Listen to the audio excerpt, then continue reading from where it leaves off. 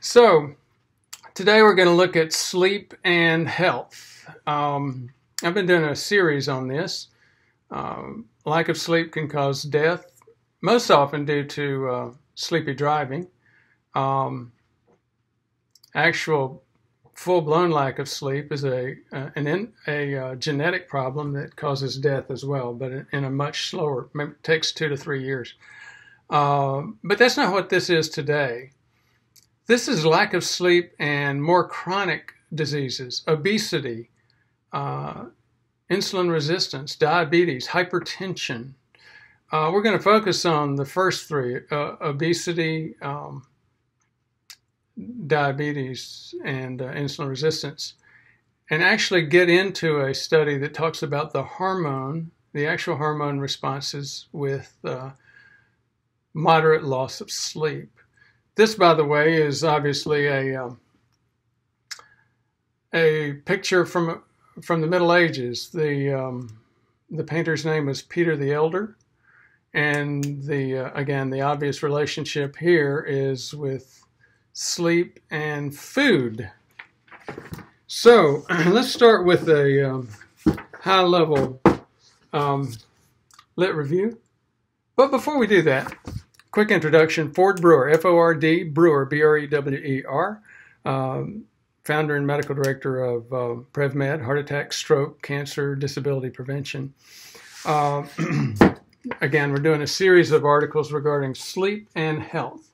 Now, the bottom line is you see a lot of uh, debate in literature around science on things like macronutrients, you know, low carb versus plant based, and uh, all of that debate. I'm not getting into that today. My point about that is there's a lot of debate. There is no debate about lack of sleep and health. What's the disconnect with our population is that we don't look at it, we don't think about it, and it's a it seems to be a hidden issue. Even people that are aware of it forget about getting proper sleep during uh, their day their daily work life and their weekly work life. Okay, so let's again look at uh, overall studies. This is the International Journal of Endocrinology. This is a great uh, sleep and metabolism, an overview. And it is a great overview. It's a review of the science that's out there. Um, the authors are um, Sunil Sharma and Mani Kavuru.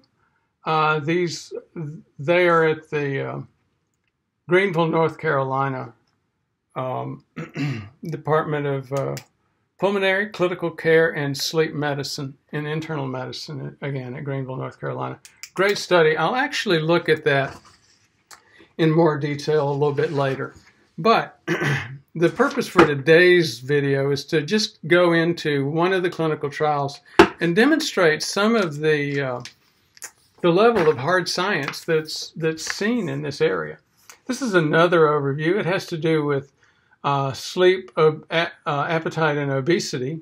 What's the link? Uh, this is in PLOS, um, Public Library of Sciences, and the medicine uh, group. PLOS, if you haven't heard about it, was uh, started by a Nobel Prize winning scientist and head of uh, the NIH to, um, again, to get good science out there. This study is obviously where I got the uh, the opening uh, image about sleep and uh, food. I'm not going to get into depth on that, uh, other than to say, okay, I'll give you the author in case you want to look it up. Uh, Patricia Prinz, and uh, December 7th, 2004. Again, a lot of good science has been, continued to develop since then. Um, again, these are old studies, but they're crystal clear. And guess what? Even though they're thir- over a decade old, people are still ignoring their lack of their problems with lack of sleep. They're ignoring sleep as a major health uh, determinant. To get back to some of that debate about what causes diabetes, again, you can go into uh, the internet anywhere and plant based versus low carb guys reviewing my uh, videos get into passionate debate about those two. The science is, uh, there are arguments about that. There's room for debate. There is no room for debate about short sleep duration and its association with um, diabetes, obesity, uh, and poor health. Yet again, even though there's no no argument with it, we tend we continue to ignore it. This, if you want to look at it, uh, December uh, uh PLOS Public Library of Science uh, Medicine, December seventh, two thousand four. Again, a decade old. Um, couple of authors here, uh, Ta, Taheri and Ling Lin. Um, so, I wanted to get in. This is a randomized clinical trial. Wanted to get into some of the basics and details on it so you, again, can see the kind of science that's already out there. These guys were at uh, Wisconsin and they looked at multiple employers within with Wisconsin. They opened this study up to uh, people 30 to 60 years old, all employees, uh, four state uh, agencies, Wisconsin, um, they sent mailers to them. Now, that was, uh, the end there was 2917. Uh, overnight sleep study protocol, 1,400. In other words, 51% agreed to an overnight sleep study protocol. Uh, they did morning fasting blood glucose on uh, 1024. Um, sleep diary on 721. So again, you, uh, significant numbers.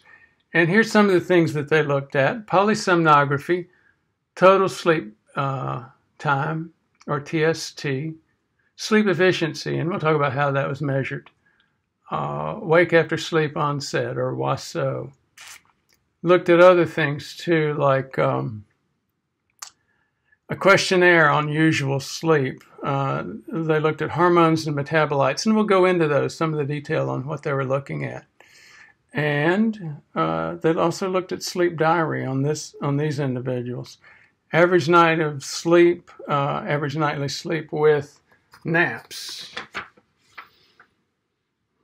Again, just going into maybe weed level detail on one of the studies that's been out there for a long time indicating uh, poor sleep wreaks havoc with our uh, endocrine system. So, again, these are some of the details about uh, things they looked at polysomnography, um,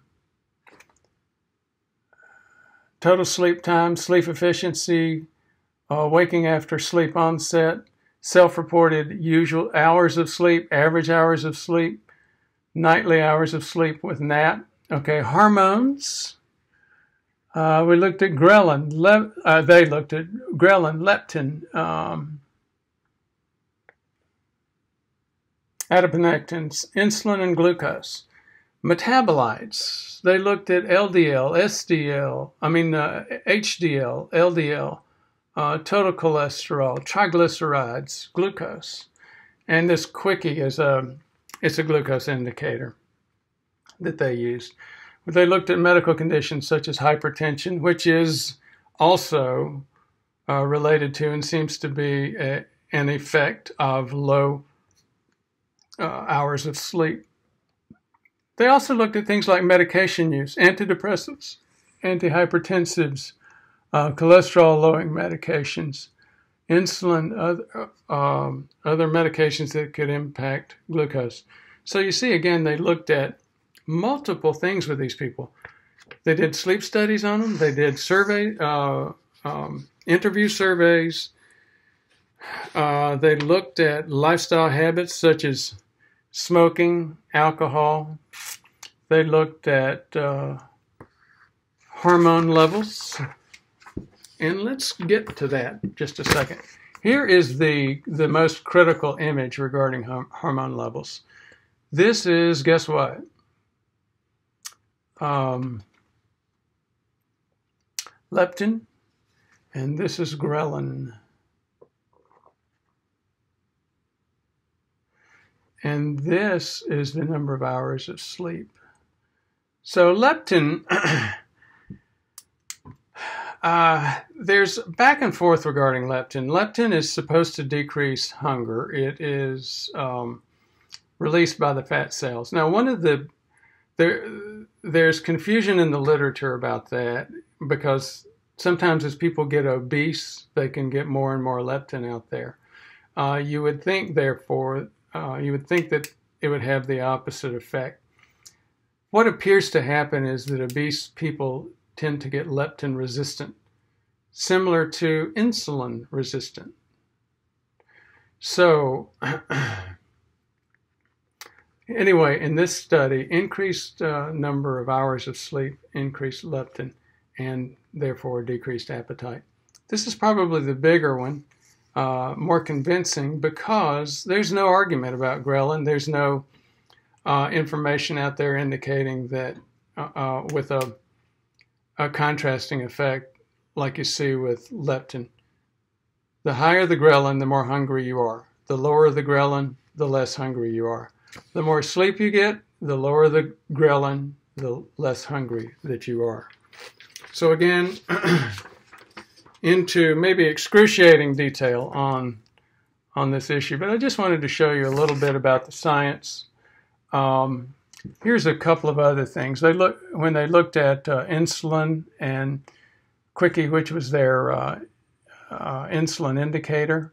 Look at these probability numbers: 0.001, one in 1,000 probability that they would get that out of a random uh, outcome. In other words, it's very clear uh, lack of sleep causes insulin resistance. The research is out there. It's really good. There's uh, there's no debate about that, and yet we continue to cut our sleep below seven hours.